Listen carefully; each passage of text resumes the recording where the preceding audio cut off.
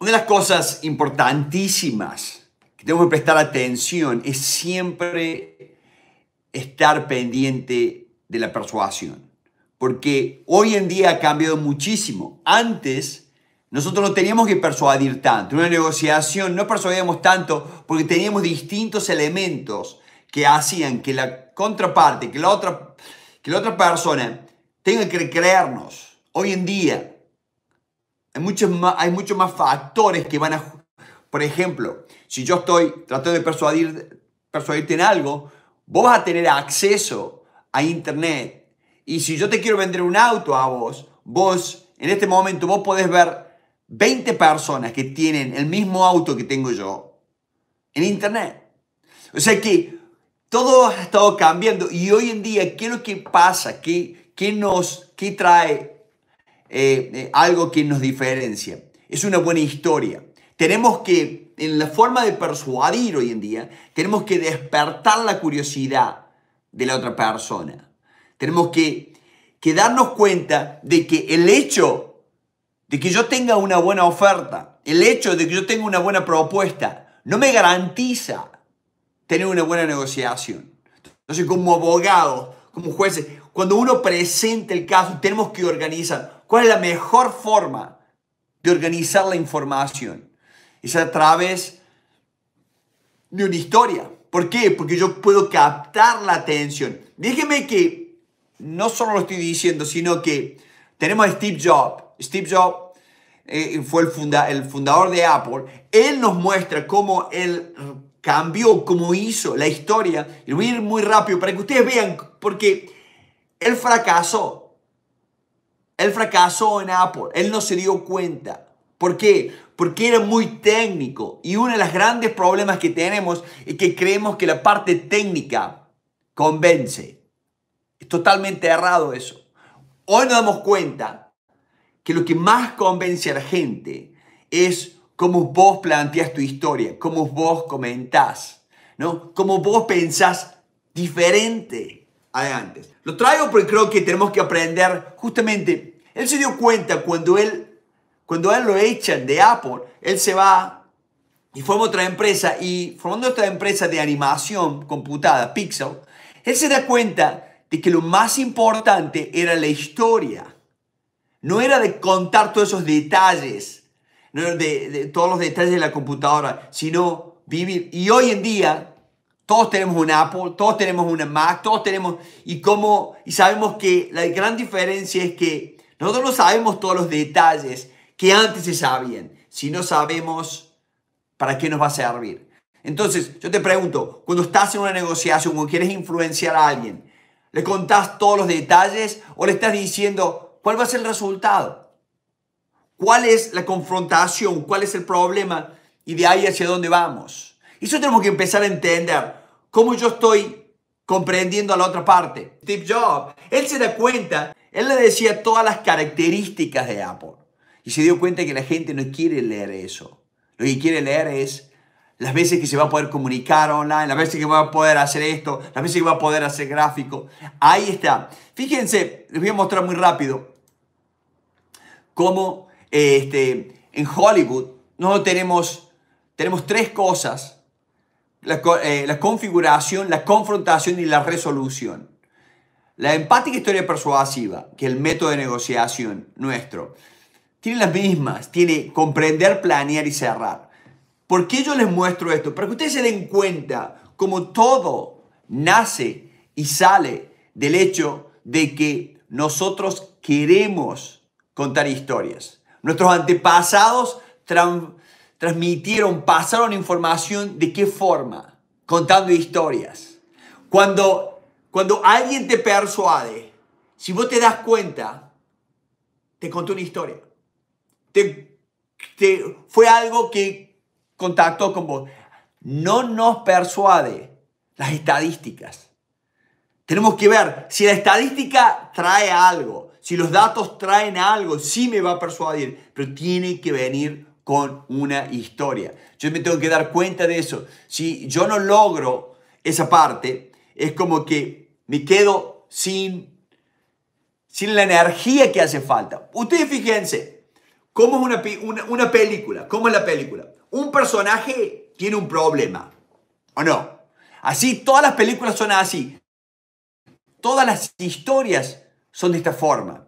Prestemos atención en esto, porque en cuanto uno se da cuenta de que la historia es lo que realmente me ayuda a, a conectar, storytelling, es cuando yo como abogado empiezo, en vez de ir a aburrir a todos con datos, yo cuento una historia. El, como juez, en, vez de dar la definición, yo empiezo a contar, empiezo a ayudar. Estaba trabajando con una abogada aquí en Pittsburgh. Y una de dice, ¿cómo me puedo preparar para esto? Porque todos creemos que la historia va a ser un libro y no es así. Es simple. Lo único que contar yo es, primero, hay un personaje, que el personaje no soy yo, es la contraparte. Si yo quiero ser hábil, si yo quiero tener un truco diferenciador en una negociación, lo que yo tengo que hacer es que el otro esté cómodo, se sienta cómodo, esté en control. Yo tengo que comprender para ser comprendido. Una de las grandes cosas que, que cambia la persuasión. Si yo hago una que una persona, yo, mi, mi héroe es la contraparte, es la persona. Entonces, un personaje tiene un problema que él tiene un problema. Por eso estamos en una negociación, porque hay un problema. Es de él, es mío. Entonces, y, pero después llega a qué? Llega un guía. ¿Quién es el guía? ¿Quién es el líder? ¿Quién es el que quiere comandar la negociación? Espero que seas vos. Vos tenés que ser esa persona. Entonces, yo tengo que posicionarme con una historia de forma tal de que el problema en vez de que me vea en contrapá, eh, frente a frente, el problema es algo que ambos vamos a trabajar y vamos a resolucionar con un plan que yo te voy a dar. Uno, ¿qué hace? Uno lo llama a la acción. Después de 26 años de trabajar en negociación con abogados, este, con jueces, con empresarios, uno de los principales problemas es que por ahí no nos damos cuenta que llamar a la acción, una de las partes más difíciles porque llama a la acción, llamamos a la acción es cuando nosotros le decimos, bueno, entonces están dispuestos a cerrar el, trato. ¿No? Es cuando nosotros vamos a escuchar las objeciones. ¿O no?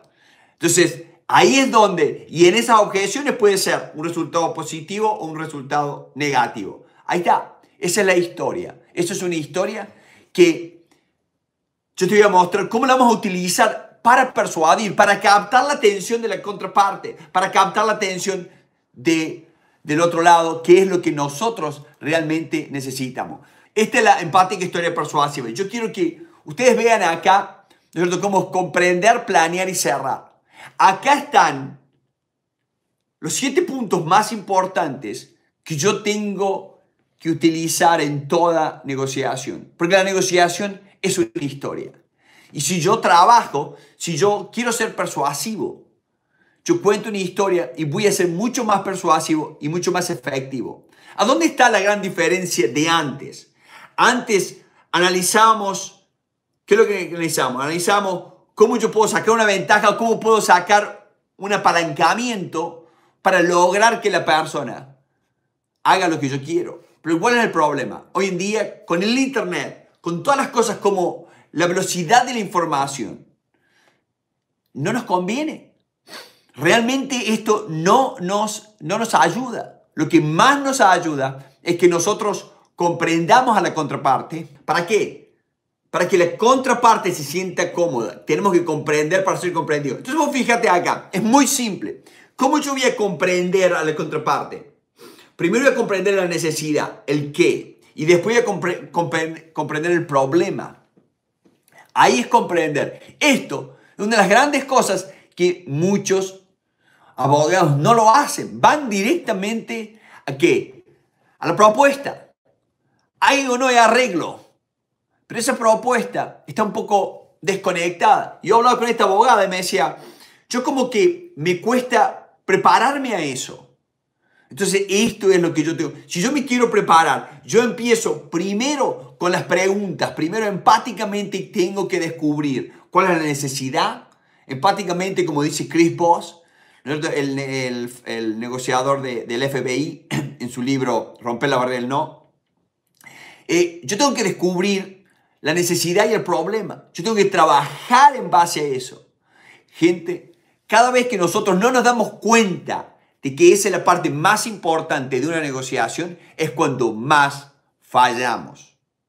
La negociación es sobre eso. Y yo os lo voy a mostrar para que ustedes vean cómo es este tema. El primer principio es la necesidad. Lo estábamos hablando en la primera parte. Es cuando yo capto. Es toda la parte de comprender. ¿Qué tengo que hacer acá? Yo tengo que identificar cuál es la necesidad. Y acá hay, un, hay algo interesante, que todo el mundo habla de necesidad.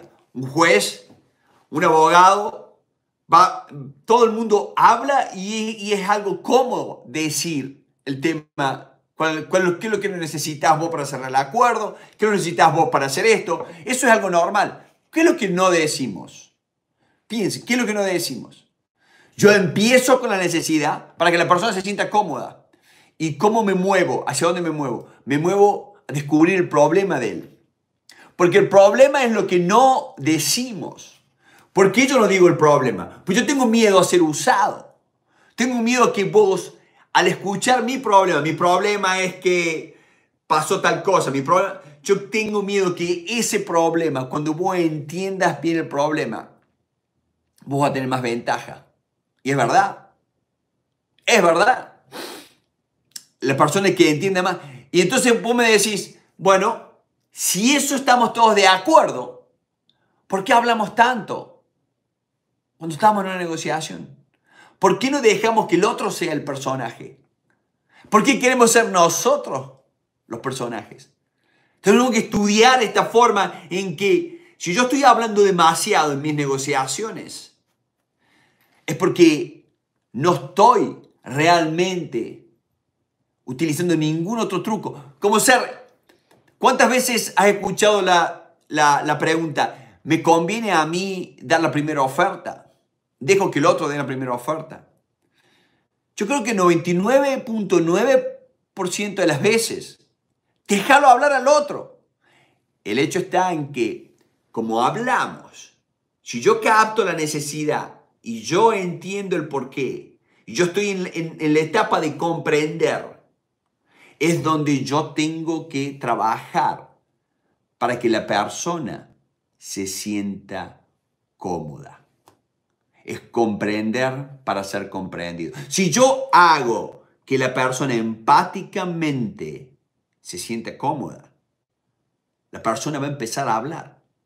Va a empezar a dar. Y si yo me preparo, porque los buenos negociadores se preparan, no hay casualidad se preparan, sacan, elaboran. Si yo tengo eso, yo ahí, cuando el otro está pensando en lo que va a contestar, yo estoy pensando en las preguntas que tengo que hacer. Porque el gran problema es que no pensamos en cómo yo voy a captar el problema del otro. No lo pensamos ¿por? Porque la ansiedad nuestra es ir a qué? Ir a hablar ir a dar, ir a, ir a comunicar. Tenemos que pensar al revés. Tenemos que ser más inteligentes en esto. Tenemos que darnos cuenta que lo más importante para persuadir es conocer la necesidad, saber el problema. Porque si yo puedo leerle el problema al otro, el otro me va a dar lo que yo quiera. ¿Cuándo? Cuando él se dé cuenta que yo digo, sí, él es un experto, sí, ellos tienen la solución, sí, ellos quieren llegar al acuerdo, sí, ellos, ellos entienden cuál es el problema. ¿Cómo, cómo se escalan los problemas? Me hablaba con, una, con, una, con esta abogada y dice, el problema escala es porque nosotros no sabemos hacia dónde ellos quieren ir y no sabemos qué están dispuestos a hacer. Entonces como que ahí empezamos y también con los jueces, con todos no, nos pasa eso. Pero bueno, ¿a dónde tenemos que ir? Tenemos que ir a qué? Tenemos que ir a, con empatía, descubrir el problema, descubrir la necesidad. Y, y cuando yo hablo de la propuesta, ¿qué es lo que hago cuando hablo de la propuesta? Es, como dice el método Harvard, ¿cuáles son las opciones? El método Harvard habla, y yo le cambio el nombre, porque opciones se confunde con alternativas. La gente, en realidad, lo más interesante es que nosotros pongamos propuestas en base a lo que hemos escuchado, el qué y el por qué de la otra persona. Donde yo me muestro como el guía, ¿o no? Lo hablábamos, se les mostraba que era, hay un guía, que el guía le muestra un plan. Acá está. Tenemos que siempre trabajar, mostrarle un plan. Estoy contando una historia. Ustedes se dan cuenta cómo hay un personaje, identificamos un problema, me lo dejo hablar, le pregunto cómo lo hago sentir, empáticamente lo hago sentir este, bien, lo hago que, que hable, que me cuente, yo estoy preparado, tengo las preguntas, avanzo con eso, comprender para ser comprendido, de ahí saco y saco esa propuesta. Y saco una propuesta en base a las palabras, es más, con clientes nuestros analizamos en base a las palabras del otro, ponemos palabras que las van a ser cambiadas en base a lo que dice la contraparte. Y uno dice, pero ¿por qué? No, no, no, no. Eso genera, genera una atracción increíble al momento de que podamos avanzar al acuerdo, cuando el otro se da cuenta de que estamos trabajando en base a lo que ellos nos dijeron. Y no empezar a hacerse el, genio, no, no, acá hay que explicarte, te explico. No.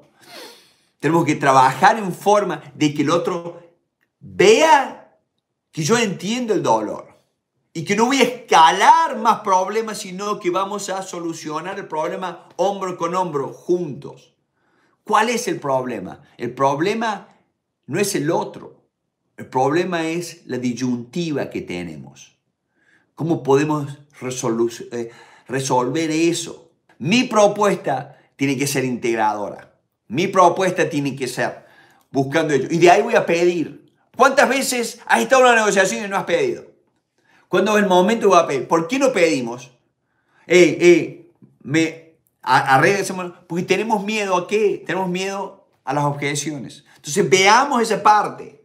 Y quiero ir rápido, quiero mostrarle estos puntos que son los principios más importantes que hoy en día estamos usando, porque todo es a través de la persuasión. Tenemos que persuadir. No es tan fácil negociar como era antes. Antes, antes hay libros de, eh, apalancamiento, hay libros de tomar la ventaja, hay libros de que el otro quiera, hay un montón de libros.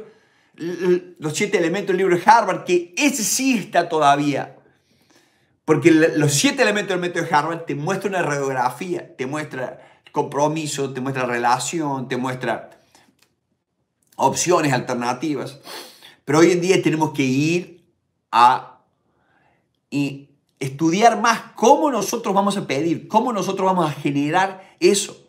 Es la forma más clara. Tenemos que llamar a la acción. No estamos llamando a la acción. Y eso es lo que nos hace que en una película Vos fijate, una película, hay un momento en que el héroe tiene que hacer algo y estamos todos pendientes. Y yo decía, ¿cómo puede ser? Yo estaba en, una, clase en Hollywood. Digo, ¿cómo puede ser que un, un, director mantiene a una persona una hora y la gente en lo que decida? ¿Qué nos pasa? ¿Por qué hay veces que en una negociación no podemos mantener al otro por una hora? ¿Por qué? Porque le damos muchos datos. Damos datos, estadísticas, amenazas, ¿o no? Amenazas y damos cosas que ellos las pueden leer como una amenaza para decir que lo dijimos. ¿Eso persuade? No, no persuade. Nos hay, hay más confrontación. En vez de entender el problema, mostrar que estamos del mismo, del mismo lado, ¿no? Pedir. Fíjense acá, la, solución en acción. Este es los resultados. En, mi libro Nunca temas negociar, una de las cosas que yo pongo en mi libro, hay un estudio que lo hace un profesor de la Universidad de, del MIT. Es brillante.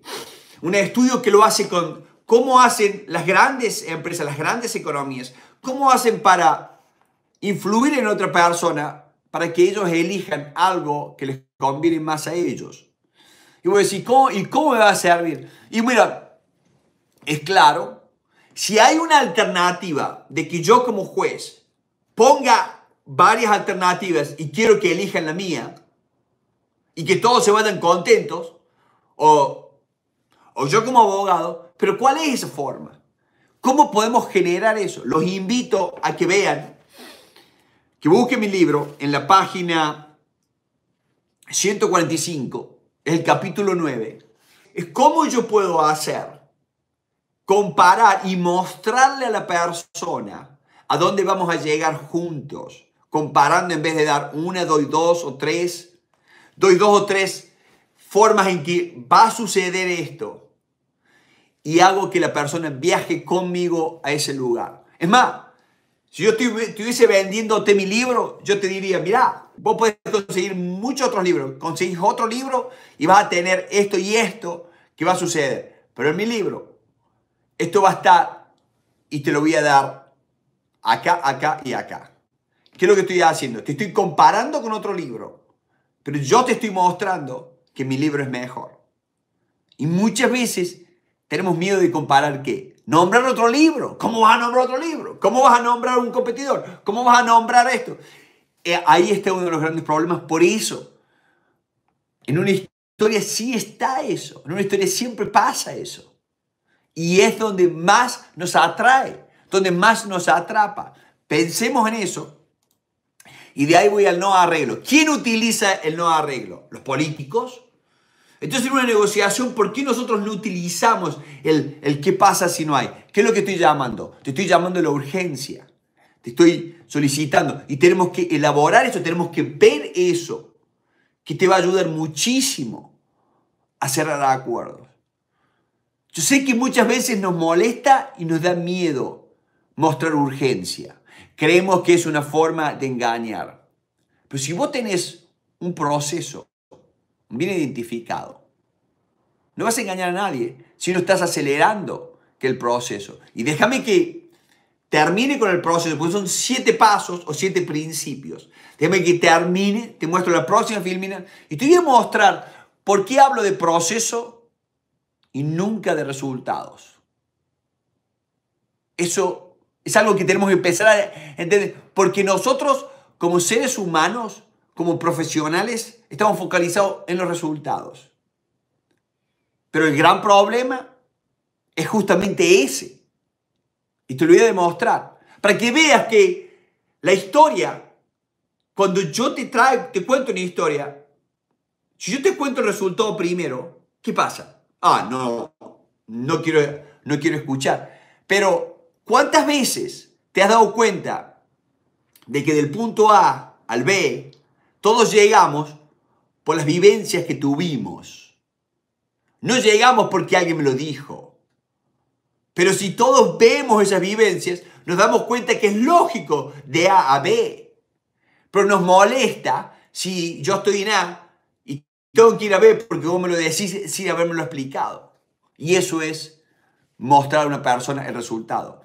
Y de ahí, el no arreglo, y de ahí llegamos a escribir su victoria. Escribimos la victoria. Esta es una, una estrategia de William Uri, profesor acá de la Universidad de Harvard, donde William demuestra algo brillante, que es justamente si yo preparo a mi contraparte a que entienda por qué es una victoria lo que está logrando, es cuando más vamos a cerrar el acuerdo, más se va a sentir cómodo y la implementación del acuerdo es fundamental. Hace más de ocho años nosotros estamos en todo, preparar esto, utilizamos esto que es uno de los elementos más fuertes para cerrar acuerdos. Fundamentalmente cuando hay complicaciones en la implementación. Si yo estoy en un divorcio, en un divorcio, si yo no logro que ambos vean que la implementación va a ser, y los chicos van a sufrir. Yo estoy en una merger acquisition, en la compra de una empresa, si yo no logro que ambos vean que hay una victoria de ambas partes, ¿qué van a hacer? Se van a matar y van a decir, bueno, el problema cuál fue? El problema fue la cultura, que es algo que muy de moda. ¡Eh, no! ¿Por qué, por qué la, la, la, unión de estas dos empresas no funcionó? Ah, por la cultura. Todos sabemos que no fue la cultura. Pues tuvimos negociadores que no supieron hacer las cosas y lo único que estaban pendientes es en el resultado. Te lo muestro. Si vos tenés un proceso, el proceso da resultados. Focalizarte en el proceso te da ansiedad, te da miedos, te da inseguridad y no te ayuda a entender. Entonces, si estamos en, un, en una economía donde yo estoy aquí en Estados Unidos, vos estás en Ecuador, vos estás en, eh, en, México, vos estás en muchas partes del mundo, estamos en una economía donde persuasión es clave hoy en día.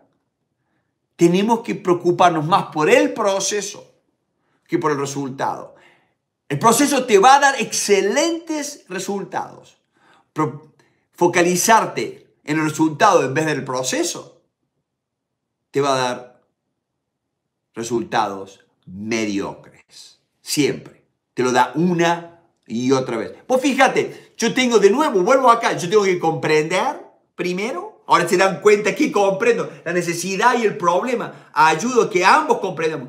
Vamos a planear Vamos a planear esa propuesta, las opciones que habla el método de Harvard y vamos a tomar la acción, vamos a decir, vamos a pedir para qué? Para descubrir si hay un no, como hablan muchos, los mejores autores eh, eh, en, esto, lo han, lo han desarrollado.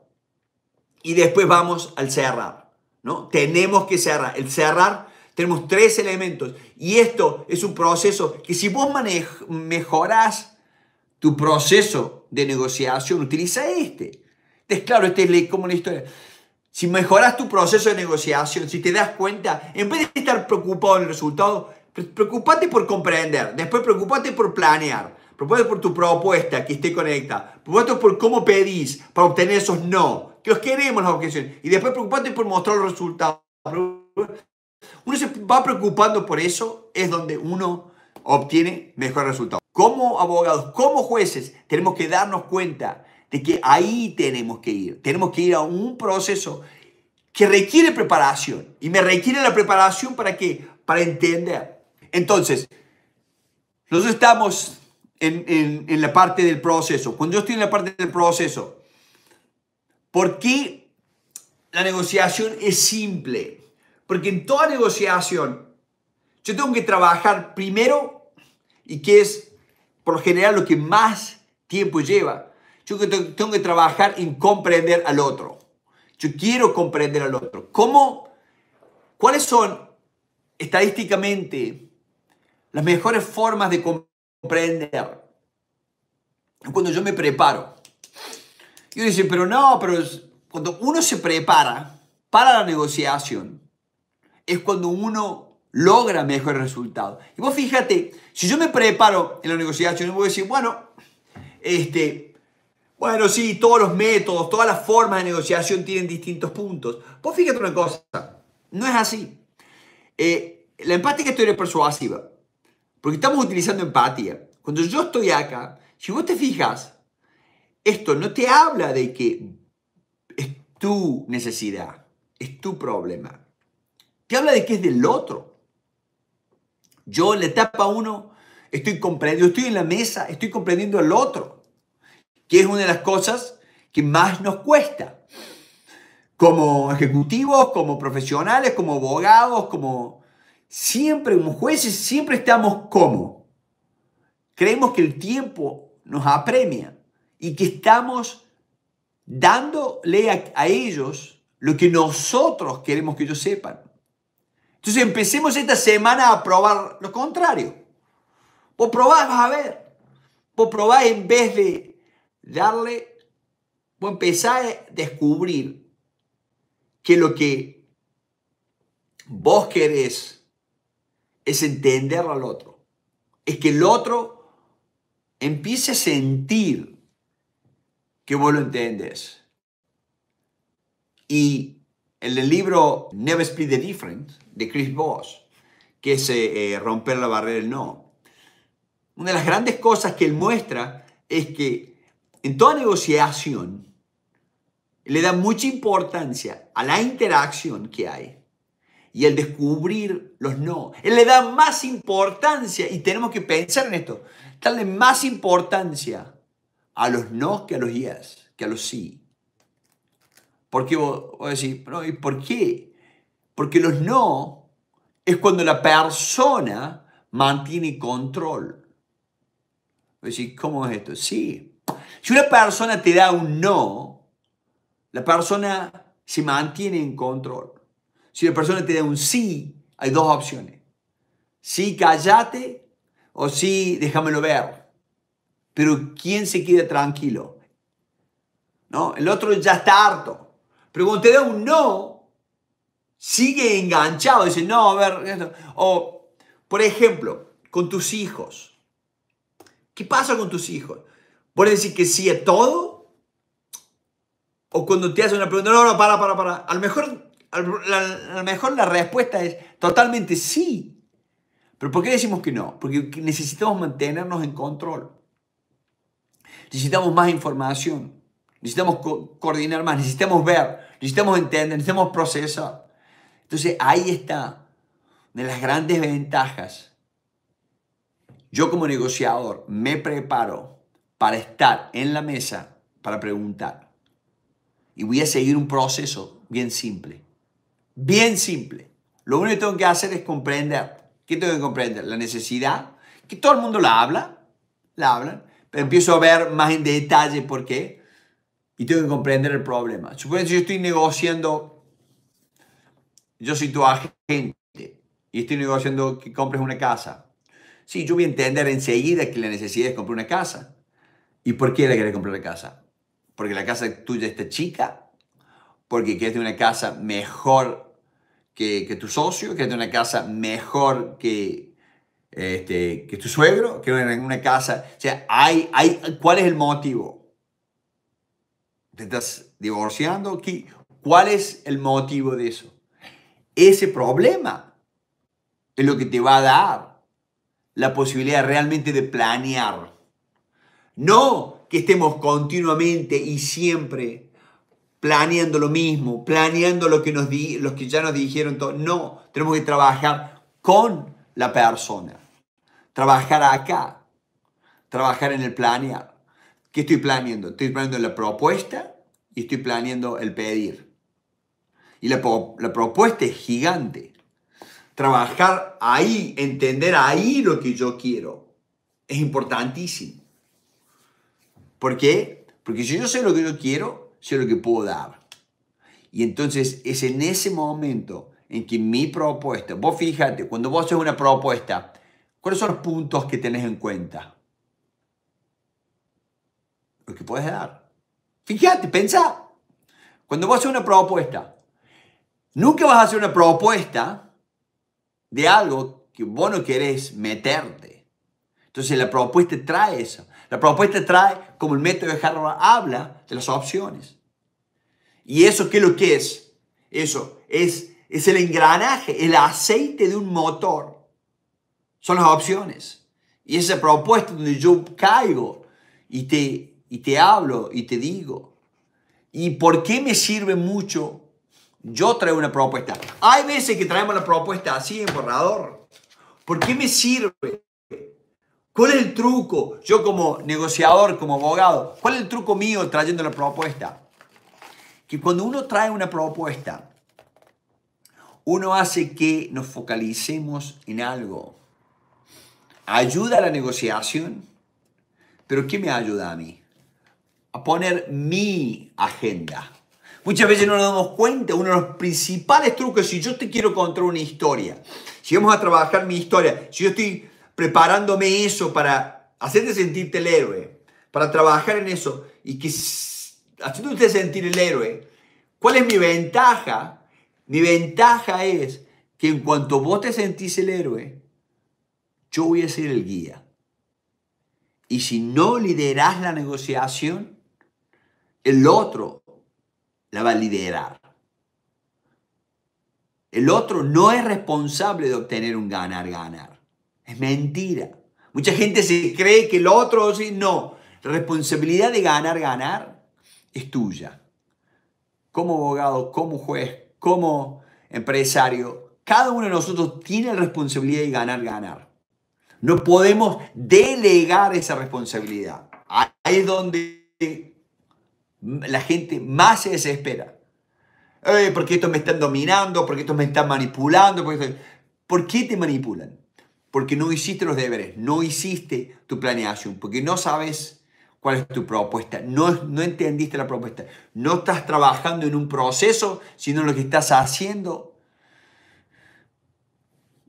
es manejar todo con ansiedad. Estaba, estaba leyendo un libro muy interesante acá del FBI de, de cómo los serial killers, cómo la gente esta este, que mata a mucha gente, ¿no? Cómo, cómo ellos procesan la información. Y, de, una, de, las, de, las, verdades es que ellos son, son personas que es muy difícil descubrir cuando ellos mienten. Y el problema es que no tienen empatía. Tienen empatía. Ellos creen que lo que están haciendo es y están dominando continuamente. Entonces, mi pregunta es, si nosotros tenemos empatía y, obtenemos la empatía del otro, está en la primera parte, está en comprender donde vamos a conectar. No está en la segunda parte. Entonces, si tenés que invertir más en ganarte la compatía, muchísimas negociaciones nuestras, en muchas partes del mundo suceden que invertimos el 80% del tiempo en comprender. El otro lo único que quiere es sentirse cómodo. Al momento en que se siente incómodo, ni siquiera tenemos que seguir paso de arreglo. Esto genera la propuesta, es más, la propuesta no, nos llega a nosotros eso. Entonces pensemos en eso. Muchas gracias, Fausto. Pensemos en eso, pensemos en cómo tenemos que trabajar, cómo tenemos que pensar, de que, ¿por qué? Primero creemos que el ganar, ganar es algo que todo el mundo se lo merece. Yo te lo digo de frente, de frente, no te mereces el ganar, ganar si no te preparas, si no haces que el otro comprenda, así que el otro sepa que a vos te preocupa. Y son un par de preguntas, preparándome, descubriendo eso. Son las mejores negociaciones. La empática historia persuasiva. El libro todavía se, está vendiendo muchísimo. ¿Por qué? Porque es uno de los únicos libros que realmente tiene un proceso. Gente, yo lo descubrí, descubrí esto, empecé a trabajar hace 26 años que estoy. Lo único que me he dedicado toda mi vida es a negociar. Mi historia, uno la puede ver. Cuando chico, Argentina entró en guerra con las Malvinas y, y, mi padre, y yo fui y le dije a mi padre, papá, vos tenés que ir a separarlos, tenés que ir a decirle a los ingleses que no, que no, que, que no meten a nuestra gente.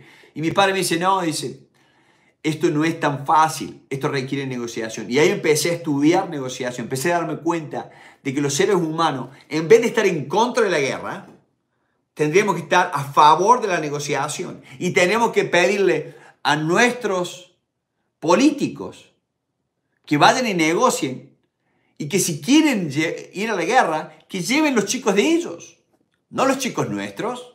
Lleva los chicos tuyos. Anda vos. Si vos, si vos te...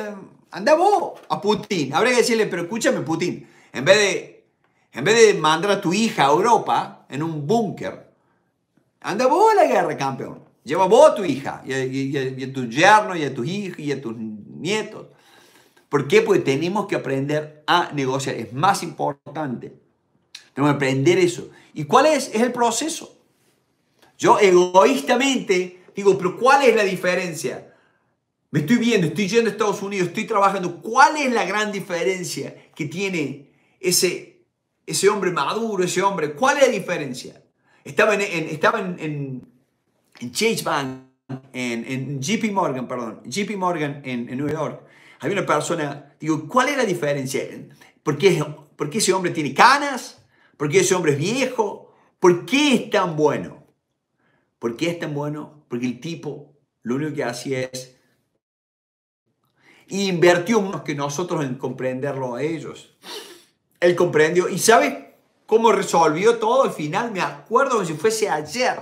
Dice, bueno, yo en realidad lo único que quiero es acomodar las cosas, pero mi asistente, ellos son los expertos, ellos te van a ayudar, lo vamos a hacer, nosotros tenemos que hacer esto, esto, ellos sé que ni siquiera, entonces uno se da cuenta, el buen negociador es la persona que capta. Si yo quiero estar en el asiento del conductor, tengo que aprender a escuchar, prepararme para hacer buenas preguntas e ir a comprender, comprender, comprender.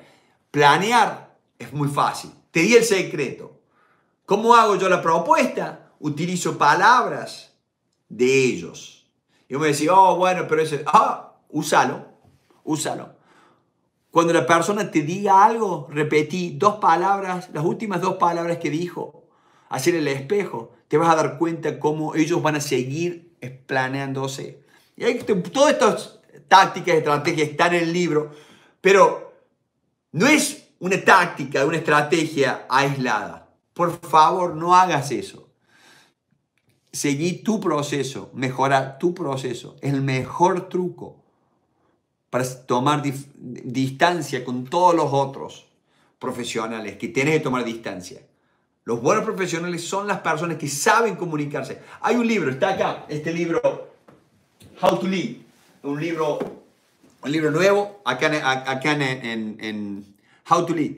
¿Saben cuál es eh, uno de los puntos, de los seis puntos? Uno de los seis puntos más importantes de todos. Acá está este, Besos, eh, bueno, eh, Bill Gates, están todos los, eh, los, líderes más importantes del mundo, ¿no? que son billonarios. es la influencia. Es como persuadimos. El que no sabe persuadir, el que no sabe influenciar, no tiene ningún lugar en, el que decir. Manuel Lima dice, saludos. Usted nos señala que hay que entender a la contraparte y ponernos en su lugar. Acorde a nuestra idiosincrasia, esa posición es símbolo de debilidad, por lo que la contraparte se empodera y toma una posición de ventaja y no acepta llegar a un acuerdo. ¿Qué hacer frente a dicha disyuntiva? Gracias, dice el doctor Manuel Lima. Bárbaro. Perfecto. Bueno, eh, el tema está en que la, la contraparte si, si yo lo tomo así, yo ya estoy viendo la, la, confrontación. Yo tengo que tratar de bajar esa confrontación. Cuando el contraparte dice, mira, este, este, vos estás equivocado, nosotros te vamos a hacer juicio. Comentame más. Ayúdame a entender por qué. O sea, uno tiene que... Eh, muchos creen que es debilidad, pero una buena estrategia no es debilidad. Uno, uno de los ejemplos yo te muestro en, el libro, ¿cómo fue vencido Napoleón Bonaparte? Napoleón Bonaparte fue vencido por los rusos. ¿Cómo fue? Porque los rusos retrocedían, retrocedían, retrocedían.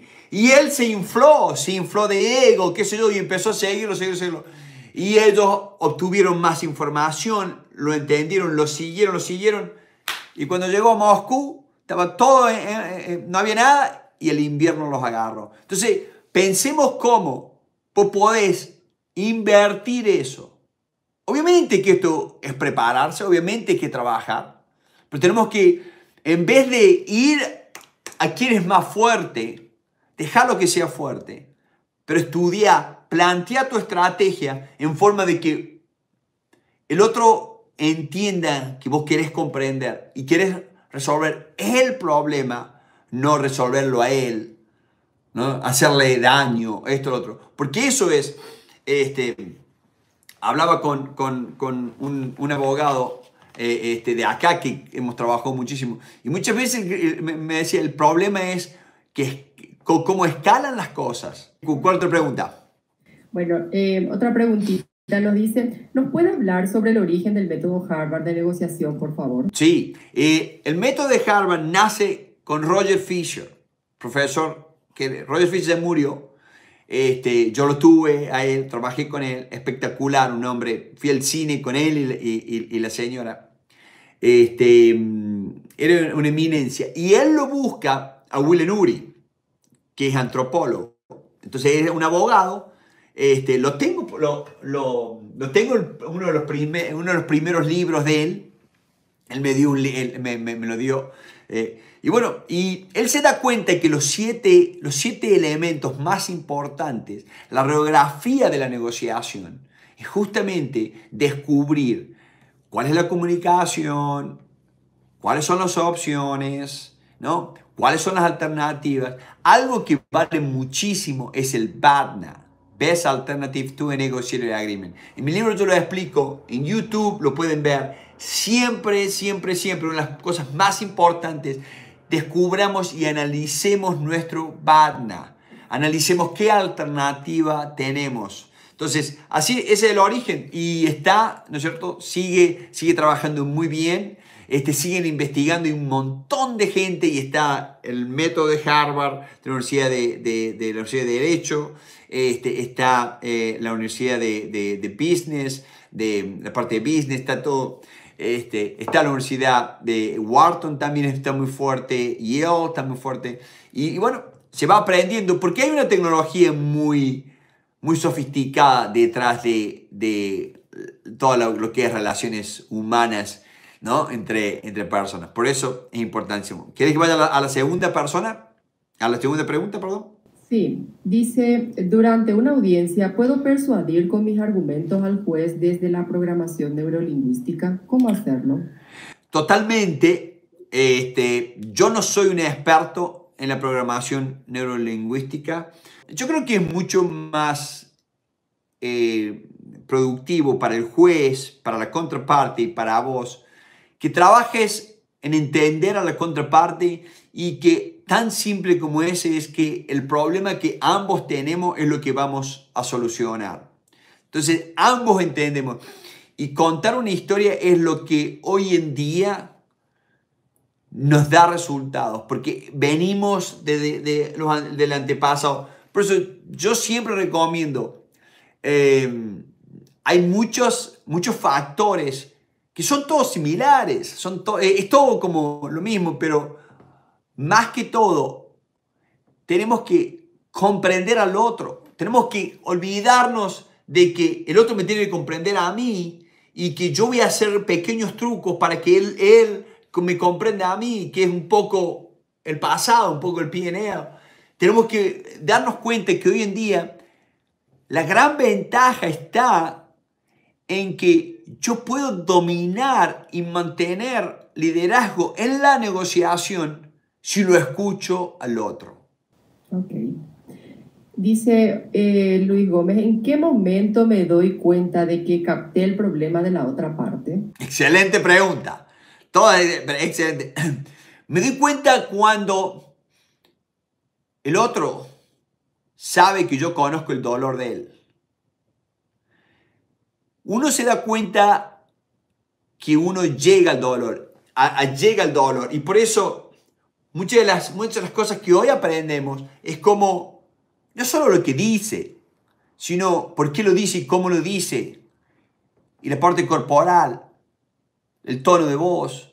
Hoy en día, si quieres ser un buen negociador, ya no es tan simple. No, él dijo esto, no es matemático. Porque Yo sabemos perfectamente que hay muchos políticos que son extremadamente mentirosos y eso los hace a ellos, pero ¿por qué? Como yo explicaba, tienen falta de empatía, tienen una, una objeción por el dominio y el control tan, tan fea, tan sucia, que no se dan cuenta. Entonces, ¿cómo podemos hacer?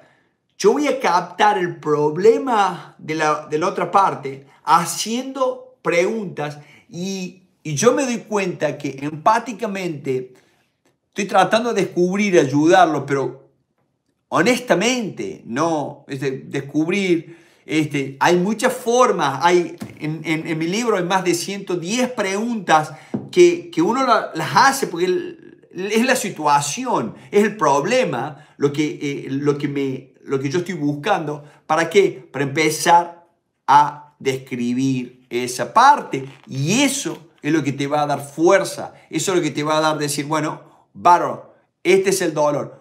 Cuando uno tiene un dolor, uno pone una propuesta. Y hay veces, si el dolor no lo tenés bien identificado, ese problema no lo tenés bien identificado, pone una propuesta que vos creas que no va a andar. Y voy a decir, pero ¿por qué no? Y porque queremos que nos digan que no. Decirle, eh, ¿por qué decís que no? ¿Por qué eso no te gusta? Eso me lo vas a contestar. Pero si yo te digo, decime qué es lo que te gusta, vos decís, oh, no, no, para, para. Si yo le digo qué es lo que me gusta, va, a subir el precio, ¿o no? ¿Qué es lo que hacemos siempre? Siempre tenemos miedo de decir, no, no, a mí me gusta, no, no, yo quiero, eh, eh, yo quiero un Mercedes-Benz blanco. No, porque, porque eso no, tenemos ese Mercedes-Benz, pero no, ese blanco. Porque si no, lo que pasa es que ese está pedido, tendría, este, ese, están pidiendo precio lista. ¿Entendés? ¿Qué, ¿Qué, pasa eso? Tenemos que, pero descubrí eso. Descubrí, seguir el proceso, seguir tu proceso, investigalo. Y durante ese proceso, la unión de la necesidad y, el problema, vos te vas a dar cuenta el tono de voz, la, la, el aporte corporal, este, las referencias que hace. Eh, nosotros preguntamos el mismo tema desde distintos ángulos para ver eso, para captar ese. Y ahí es cuando uno empieza a mover, ¿no? A mover la línea, seguir el proceso, ir a pedir, ir a resultados, etc. Excelente pregunta. Eh, acá llega una preguntita del Facebook, dice Fausto Paucar. ¿Cómo podemos persuadir a la otra parte para enfocarle en el ganar-ganar? Dice Fausto. Bueno, excelente, excelente pregunta. Una de las mejores formas de esto eh, eh, en, la práctica es hablarlo abiertamente.